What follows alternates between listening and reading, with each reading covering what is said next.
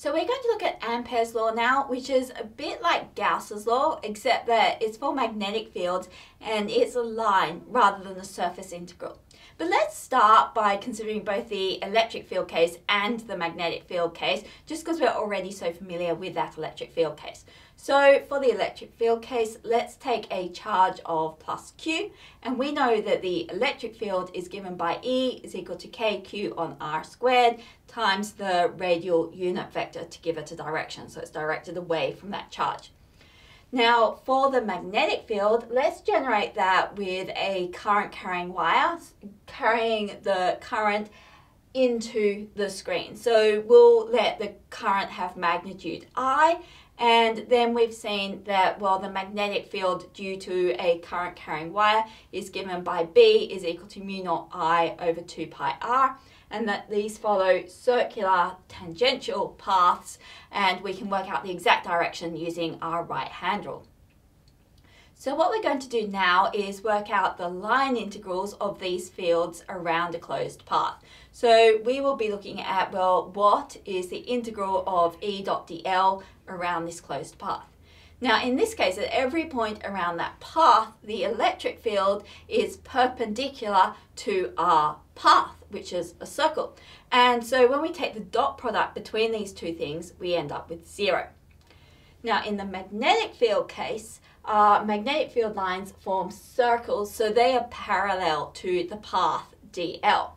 So we can write, well, the integral around the closed path of b dot dl is equal to the integral around the closed path of mu naught i over 2 pi r times dl. And so mu naught i over 2 pi r is constant around that path because the radius isn't changing around the path. So we can write this is equal to mu naught i over 2 pi r times the closed, the integral over the closed line of dl. And then if we integrate over that closed line, well, it's just a circle, so that is equal to 2 pi r, the circumference of the circle. That's the length of our path. And so we've got, in this case, mu naught i over 2 pi r times 2 pi r, and those 2 pi r's cancel out, and we end up with the integral of b dot dl around a closed loop is equal to mu naught i. Okay, so that was really nice for circular paths. What happens if we have paths which are a little more complex? So imagine paths like these. Now with the electric field case, we've actually looked at this a bit previously when we were calculating the amount of work done by the electrostatic force on a charged particle as it moved. And we saw that the tangential parts are still going to completely cancel be zero because these are still perpendicular. The electric field is perpendicular to the path. But if we consider the radial parts, well, we end up with at the same radius that we started at. So in some parts, we'll be moving out and there'll be a contribution, but then in other parts, we move back towards the charge the same distance. And so these contributions are going to cancel out around that path. And we still have the integral of E dot dl around a closed loop is equal to zero. Now with the magnetic field case, it's a little bit more complicated. So let's split our path up into little sections and let's just consider one little section of the path which subtends an angle d theta at the center of that path, so at that current carrying wire. And let's work out how much does this little increment, which subtends the angle d theta, contribute to the line integral b dot dl. So considering our path, we'll need to know the path length because what we're trying to work out is b dot dl. So we need to know what dl is.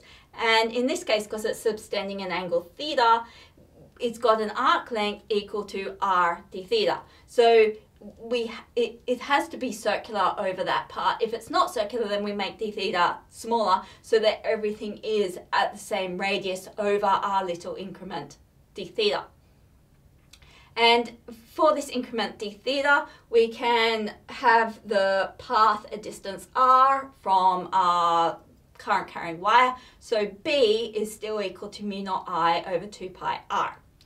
So we can say, well, B dl is equal to mu naught I over 2 pi r times r d theta. And those r's are going to cancel out. And so this is equal to mu naught I over 2 pi times d theta. So that's the contribution to B dot dl from just that one little increment. But now we want to sum all our increments around our path. So in order to do that, we can integrate. So we're going to integrate around this entire path, the closed path. So that's equal to b dot dl around the closed path. And when we do that, we need to sum up all the contributions from the d theta from theta equals 0 up to theta equals 2 pi. So we've got this is equal to the integral with the limits 0 to 2 pi of mu naught i over 2 pi times d theta. And then when we do that integral, we've got this is equal to mu naught i over 2 pi. And then when we integrate the theta with the limits 2 pi and 0, this is equal to 2 pi minus 0, so just 2 pi. So we've now got mu naught i times 2 pi divided by 2 pi, which is equal to mu naught i.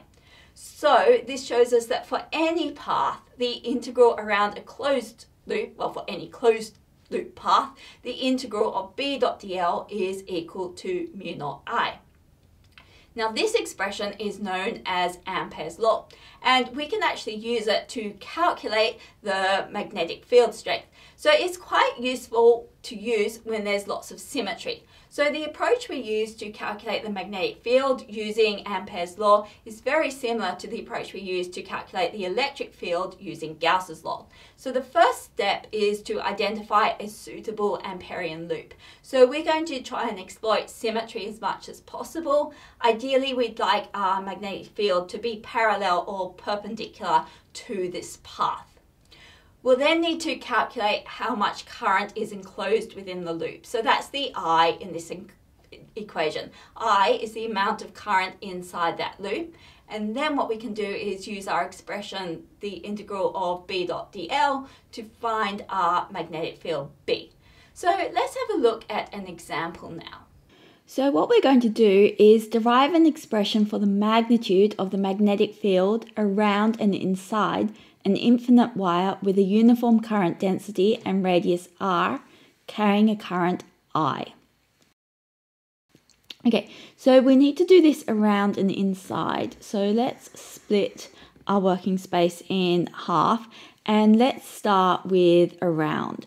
So the first step we need to do is identify a suitable Amperian loop.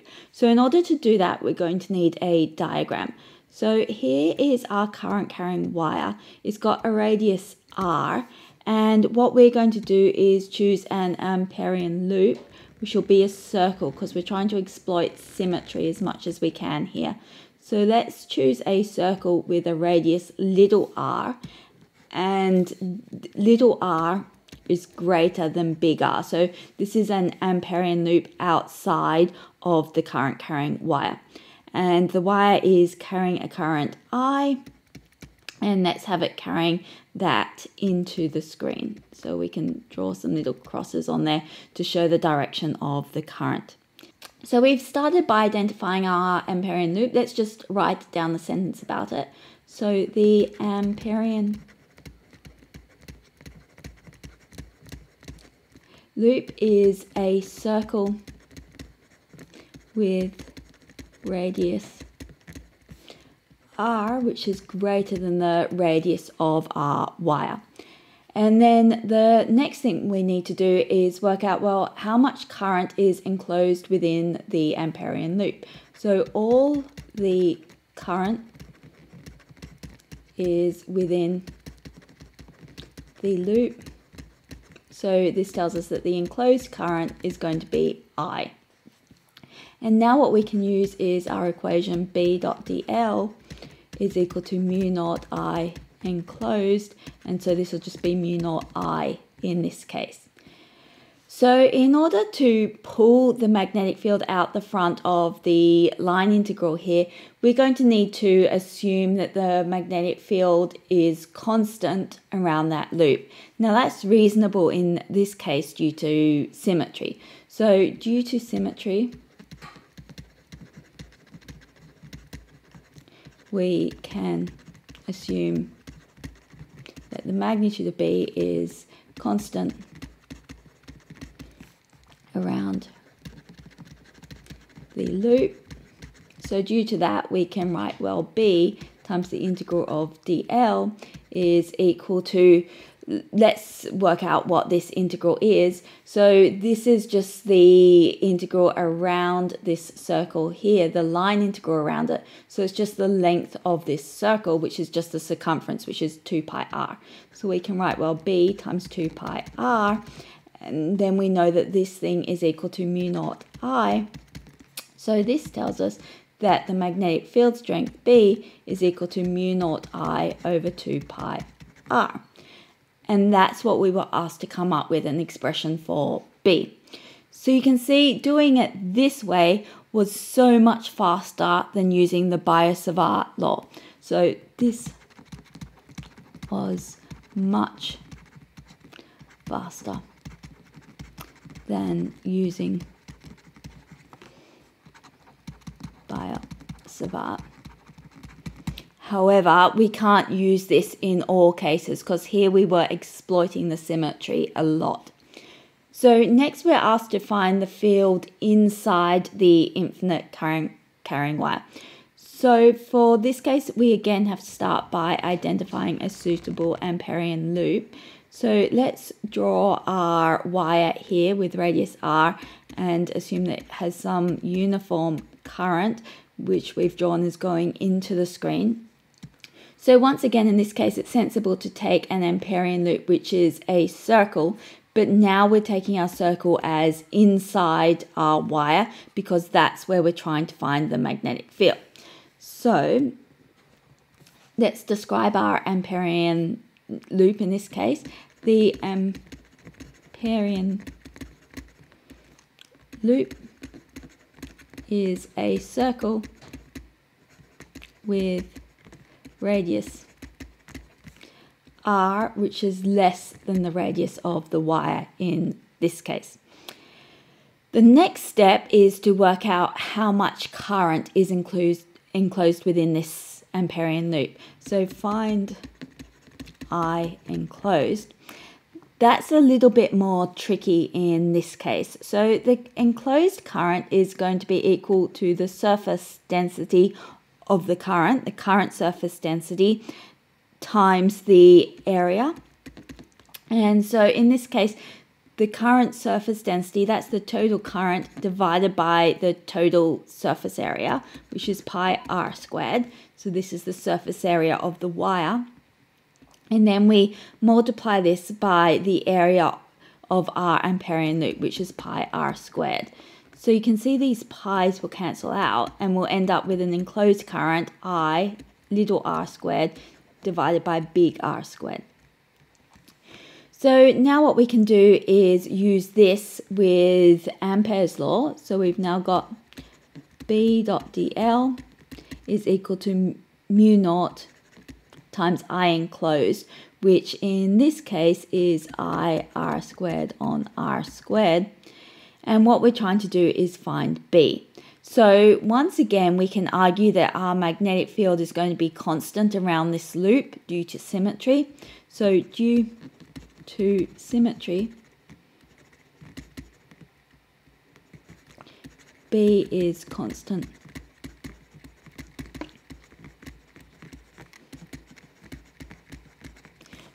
So, because it's constant, we can pull it out the front of our integral. So we've got b times dl.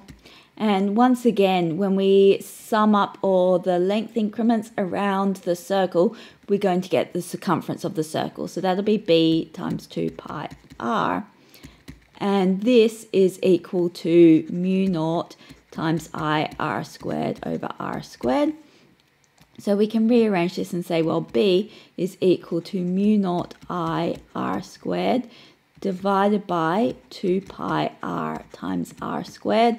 You can see this r will cancel with one of these, and we end up with mu naught I r divided by 2 pi r squared.